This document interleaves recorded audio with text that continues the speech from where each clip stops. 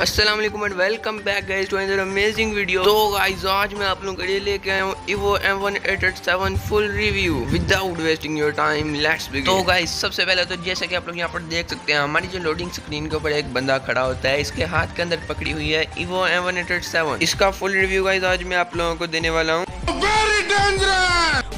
All right guys जैसा कि आप लोग यहाँ पर देख सकते हैं Evo M one eight eight seven का लुकिंग एनिमेशन बहुत ही ज़्यादा खतरनाक सीन होने वाला है गाइज़ इस वाली एवन एट एट सेवन का तो क्या ही तो डेंजरस एनिमेशन है गाइज़ एक बार जरा देखो तो सही। फटाफट से गाइज़ अभी हम लोग इसके एट्रीब्यूट्स की तरफ़ चलते हैं।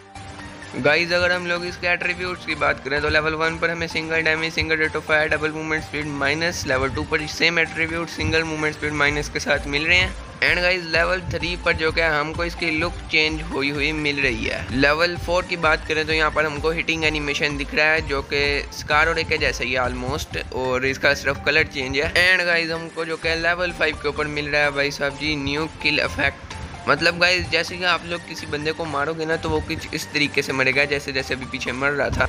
गाइज़ मुझे तो अभी तक जो कहना ये वन एट सेवन बहुत ही ज़्यादा अच्छी लगी।